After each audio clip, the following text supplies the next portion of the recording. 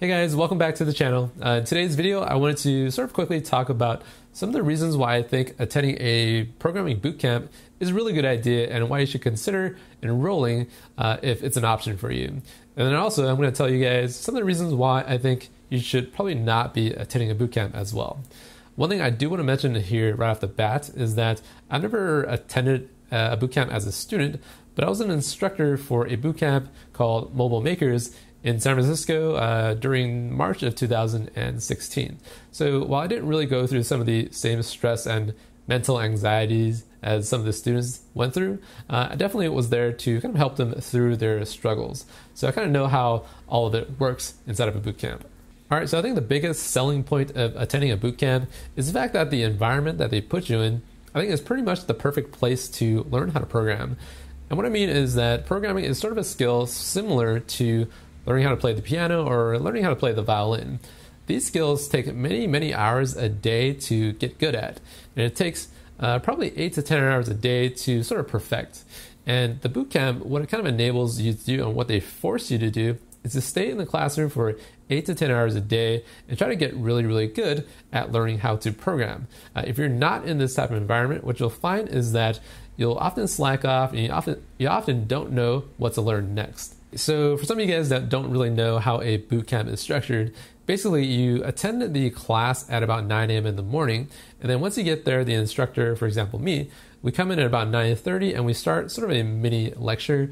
And then during that lecture, we have a semi-live coding session.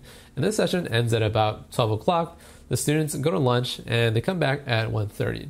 And at 1:30, the staff at the bootcamp, we give all of the students a really, really tough project to complete for the entire day. And typically, the whole project takes about six to seven hours to complete.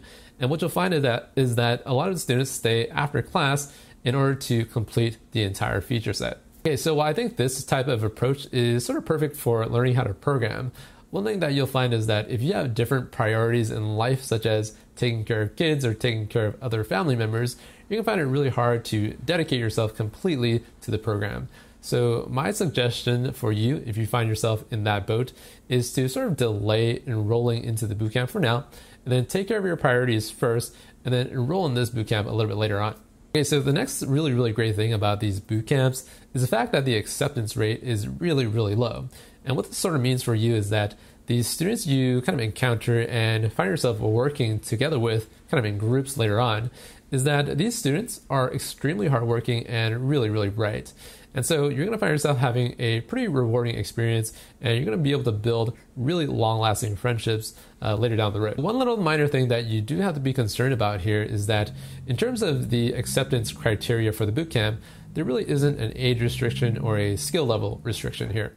So sometimes what you'll find is that you might be working with people that are either a lot older or a lot younger than you are, right? So, what can happen is that there can be an age gap or a culture gap that exists between you and your group members in a particular project. And sometimes there can be a little bit of friction between you and your team members in terms of getting things done. And also, in terms of skill level, sometimes you'll be working with people that have prior programming experience, and you might find yourself having to do a little bit of catch up work to kind of get uh, get yourself on track and get yourself on the same level as some of these other students. But I think it's sort of a minor obstacle, and a little bit of hard work can uh, can overcome that. All right. So the other really really good thing about these boot camps is the kind of quick exposure and hands-on experience that you get while you're there. So what I mean is there really isn't any other place where they'll give you this type of experience in the short amount of time that they promise you. And if you are someone that likes to dive into the deep end of the pool and you know you can succeed in this type of environment, I think you'll find it to be a very, very enjoyable experience. Here's one bad thing about boot camps, but it's not really unique to the bootcamp industry. And what you'll find is that if you are learning under a bad instructor that is doing a really bad job at teaching you the particular subject, you're going to find yourself falling behind rather quickly.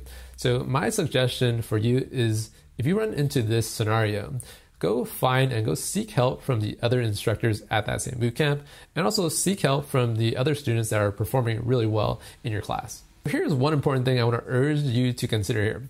Uh, if you are deciding on enrolling into a bootcamp, make sure to pick one that is in a smart location, especially one that's near sort of a tech hub, right? If you want to go to a bootcamp to get placed in a job after you graduate, the best chances are if you attend one that's near a tech hub such as San Francisco, you know, Silicon Valley, or even Seattle, New York, or perhaps Austin. If you want a job, the best chances are the jobs that are available are going to be in or near those tech hubs. Okay, so one last thing I want to say before I let you go today is that if you want to get a taste or feel for what these boot camps have to offer, uh, you can go to my website and just purchase the basic training course. It's really cheap, only $20. Uh, a lot of students have already taken it and they have really enjoyed the content.